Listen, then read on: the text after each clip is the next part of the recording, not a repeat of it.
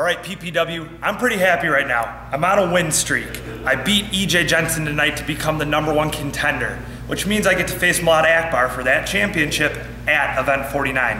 And on my way backstage tonight, a fan pulled me to the side and said that I was the people's champion of Premier Pro Wrestling, which means these people, just as much as I do, want change and they want me to hold that belt.